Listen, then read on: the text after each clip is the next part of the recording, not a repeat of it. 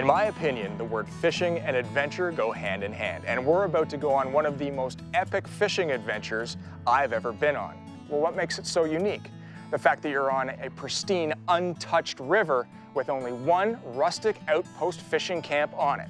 We're in Labrador, Canada, at Hawke River Outfitters, hunting Atlantic salmon. The adventure begins next on the New Fly Fisher.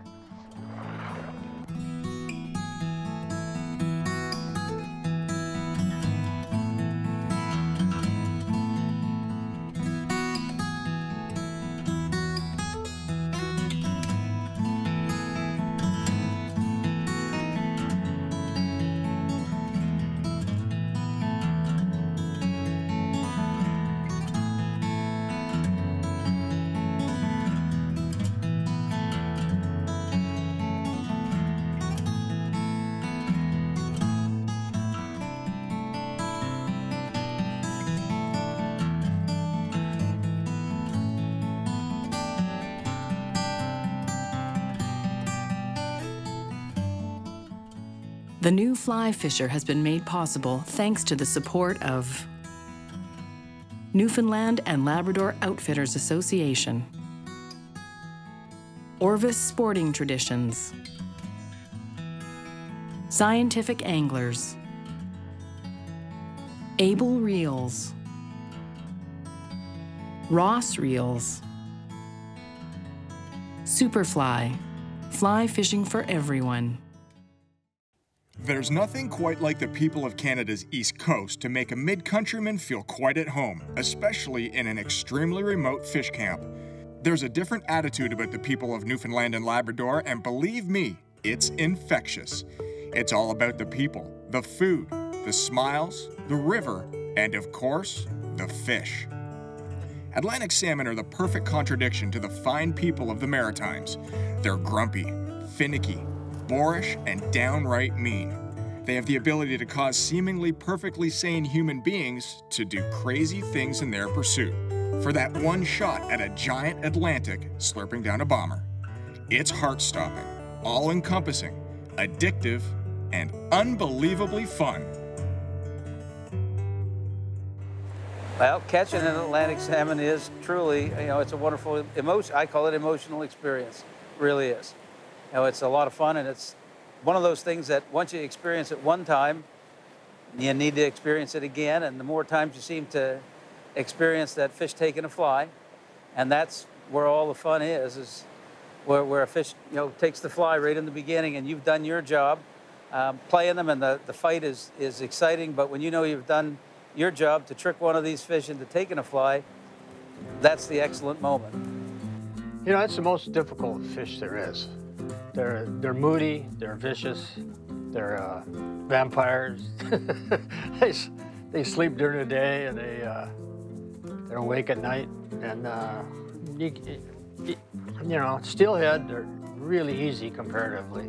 So that's what drives you crazy and keeps you coming. Hawke River Outfitters is a true wilderness outpost camp. Accessible by float plane from nearby Charlottetown, Labrador, the camp is the only outfitter on the river. In turn, you literally have access to pools and runs that get zero outside angling pressure. After getting settled and set to fish, we immediately got hooked up with my guide for the week, Wade Mahar. I've never fished Atlantic salmon, so this is truly trial by fire. Wade, this is day one of our adventure here at Hawke River Outfitters, and uh, you know, I thought when we arrived that the weather was terrible, but you don't think so, do you? No, this is not terrible weather. Not you like fishing. this is perfect. We had. Well, fishing. the water's been low and really warm of late, and um, we've had some serious thunderstorms move through. What's that going to do to the fishery? Well, that will make the, the fishing a lot better, of course, because it'll bring the water temperature down and water levels up. Right. Are there salmon in the river right now? Yes, there are salmon. So as soon as that water temperature drops, are they going to start moving up? They'll move on up the river. Yes. Right now, like the water level is a little higher than it was, so they should hold up in these pools here and make for good fishing. So it looks like we might get some more rain tonight, so that by all intents and purposes, that should mean that we have a pretty excellent week. Yep, we need more rain. Water levels are low. all right, let's catch one of these things. When fishing Atlantic salmon in Newfoundland and Labrador, here are some of the regulations you must be aware of. Number one, As a non-resident, you must fish with a guide. You must use floating lines only, single barbless hooks, and you're not allowed any weight on the fly or the leader in any way. So 45 degrees down, yep. Hold the high rod. rod. All right, hold the rod up. Swing with it. Come down slowly. Am I looking for the wake? What am I looking for? Yeah, you got. You keep trying to see your fly as much as possible at all times. Don't go too fast with your rod. Okay, Keep, your rod keep it slow. Try, try to slow your try to slow your swing down as much as possible. Cast, try to cast right over that rock or just to the right of that rock. This one right here? Yeah.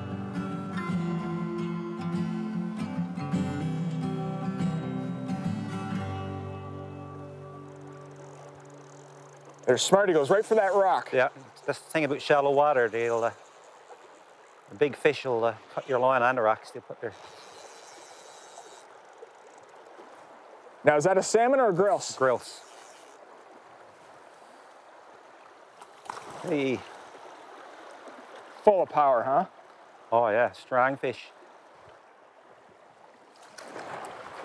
Salmon in the hole.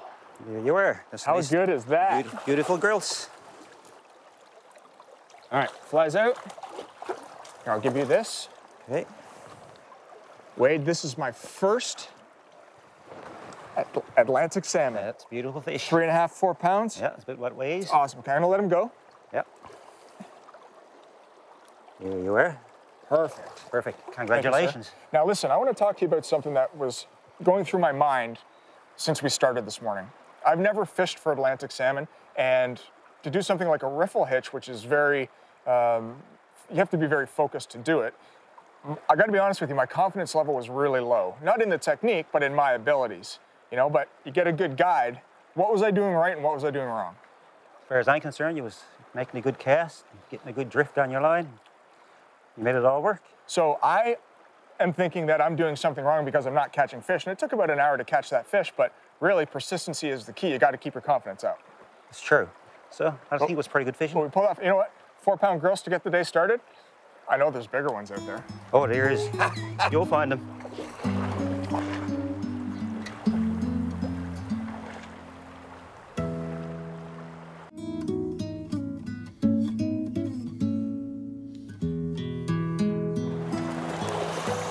There we go.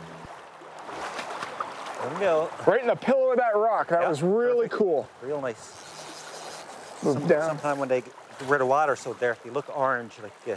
Yeah, that's a no, salmon. just- uh, no, uh, There, grilse. grilse. Now you want to fight these fish with a really high rod tip, and the reason why is right here. These Atlantics have a nasty habit of trying to get it themselves around a backside of a rock and rub you off like that one just doing right now. With- So with a high rod tip, you have a much better chance of having that leader not get rubbed off on the rock face because they are crafty and they are tricky.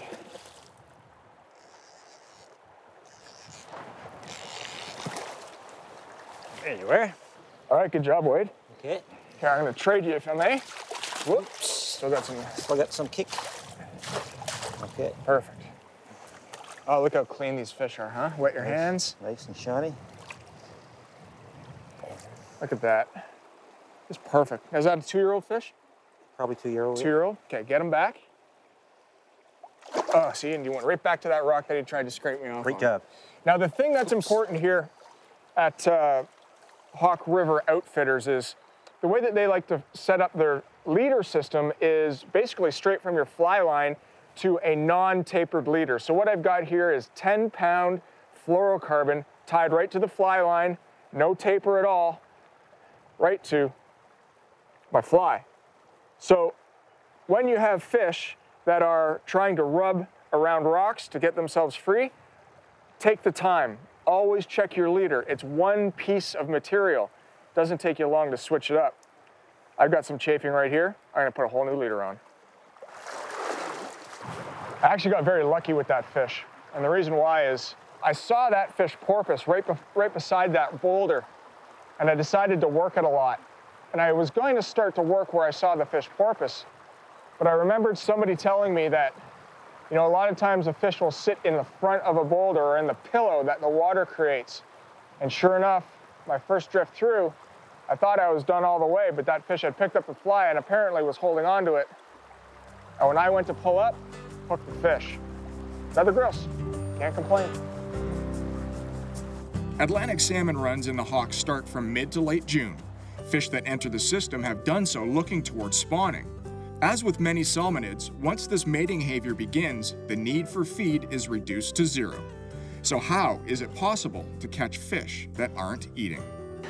Biologically, as I understand it, from the time an Atlantic salmon comes into the river and spawns and leaves the river again, they don't eat. Um, so the reason that they take a fly is part of the mystique of Atlantic salmon fishing because we don't know.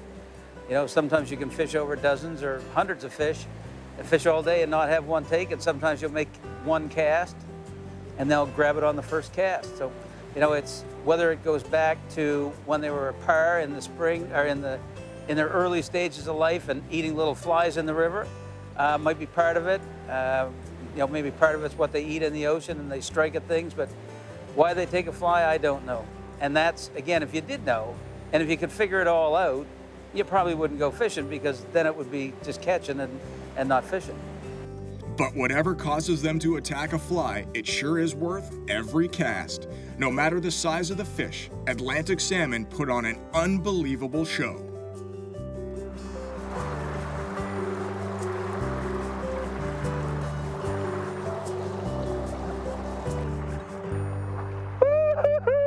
Good one.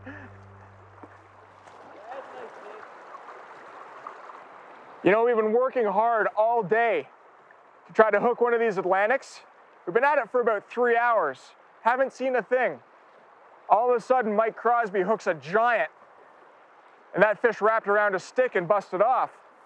The sun's starting to peek out a little bit. I wonder if that has something to do with it. But a couple casts after Mike lost his fish, I tie into this bad boy. Yeah!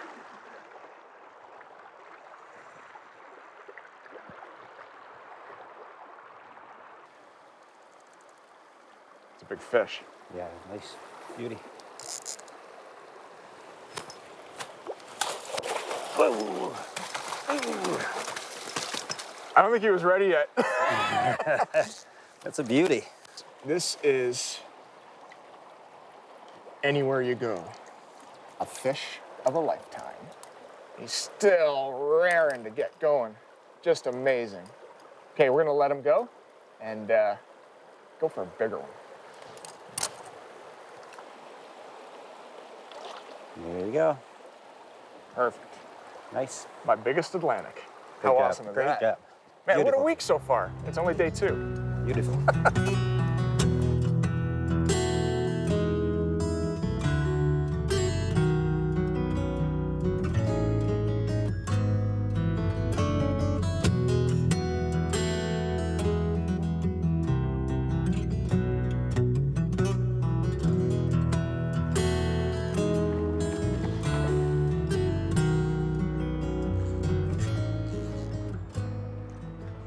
Did you see that?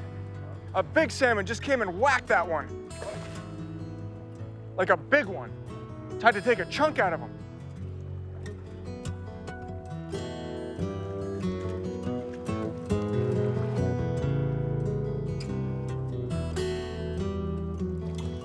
See ya, quick release. Just like that.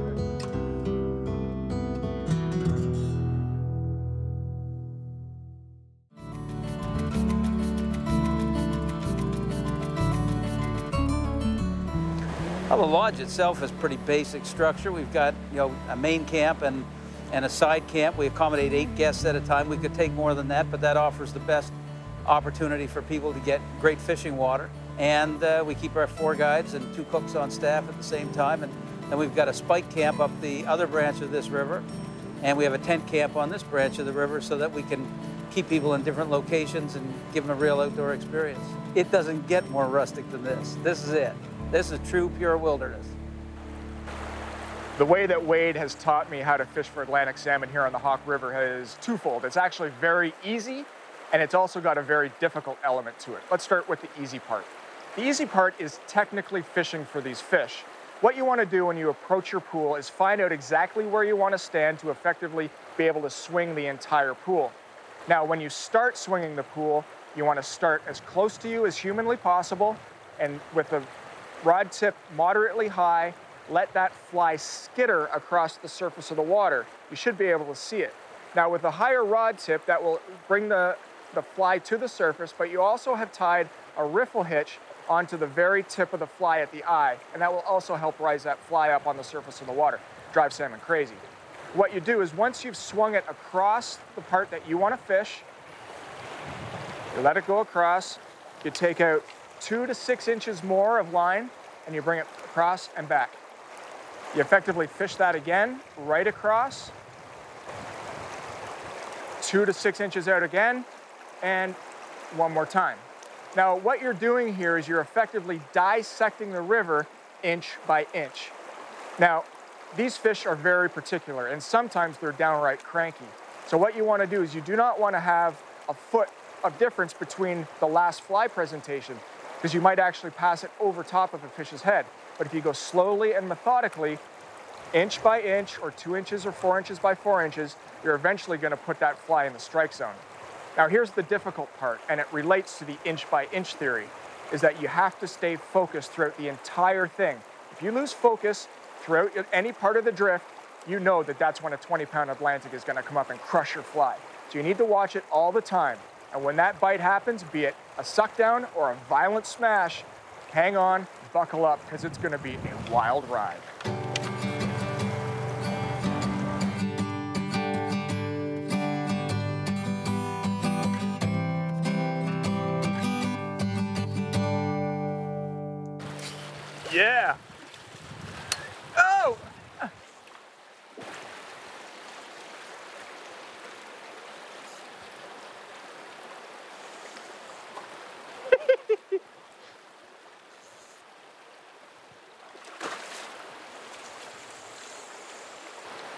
Really does not matter how big or how small Atlantics are.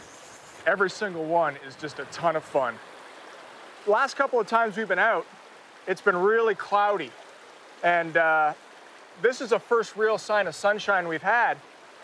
I walked in here like we were fishing clouds all over again and I didn't respect the sun. What do, what do you have to keep in mind when the sun comes out when you approach a pool? You always stand back further from the pool. Your shadow is not casting in the water, disturbing the fish in the pools. And do I have to do I have to shorten up the presentation too? Instead of four or six inches, goes to like make it smaller and smaller. it, make it smaller. Fish. They're a little fish more wary, wide. are they? Yes, well, they can see your shadow and they'll move out the pools if you stand too close.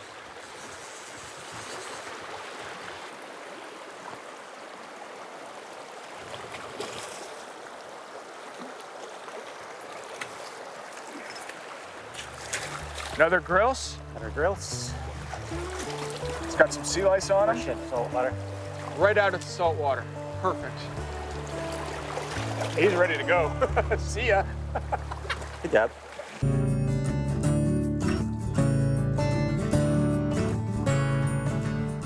So the setup that we used here at Hawke River for Atlantic salmon is basically, you know, similar to that of a steelhead outfit. What I've got here is a nine foot three, eight weight, fast action fly rod. Um, on the reel side, we've got the Abel Super seven to eight. I like the large arbor because these fish are very fast and very dynamic, and if they come at you, you need that large arbor to be able to pick up. And the fly line used is a eight weight steelhead and Atlantic salmon floating line. You have to note that while fishing in Labrador, you have to have floating line. It's against the regulations if you have anything other than a floating line. The leader material that we've got is a single taper, 10 pound fluorocarbon leader. It's really that simple. You get out there, riffle hitch or bomber throw, and man, you can catch Atlantic salmon all day long with one of these outfits. So I wanted to run through the fly selection that we used while fishing Atlantic salmon here on the Hawke River.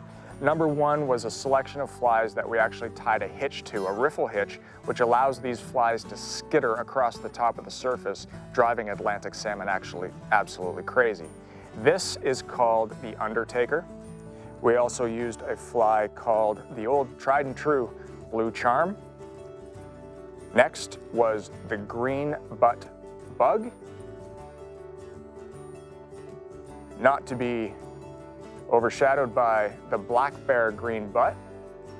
And we also tried, for me, one of the first times I've ever done it is thrown a bomber. A bomber is a top water exclusive fly that you add floatant to that so it sits high on the water column, right on the surface, and these fish come up and just smack it.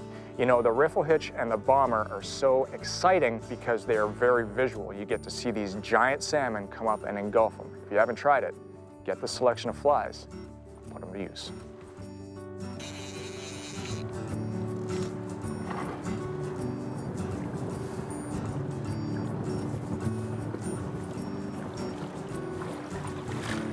How was that special delivery right there, huh? Good job. well, it might be the smallest fish of the week, but on tricky conditions like this, look, the fly just popped out. Yep. Tricky conditions like this, I'll give you that. Doesn't matter. Sea sea lice. lice, brand new fish, right into the system. This is what you come to Labrador for. Awesome, awesome Atlantic salmon. Wow, what a trip. What a trip. Thank you very much, Wade. I appreciate it. Listen, if you want a trip of a lifetime, you need to come to Labrador, Canada, Hawke River Outfitters, and experience all that they have to offer. It is truly incredible. Hey, thanks for watching The New Fly Fisher. For more in our series, log on to www.newflyfisher.com. We'll see you on the river. Thanks, man. The new Fly Fisher has been made possible thanks to the support of Newfoundland and Labrador Outfitters Association, Orvis Sporting Traditions, Scientific Anglers, Abel Reels, Ross Reels, Superfly, fly fishing for everyone. To learn more about the new Fly Fisher, our locations, contests, news, and much more, come visit and like us on Facebook.